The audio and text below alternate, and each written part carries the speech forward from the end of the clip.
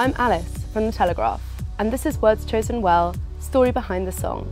Sound of the Underground, we put it on and instantly started vibing. And Brian seems to think I had the chorus ready already. I can't remember if I did, but I do remember singing The Wheels on the Bus Go Round. And I was singing, The wheels on the bus go round, the wheels on the bus go round. that song just got so much cooler.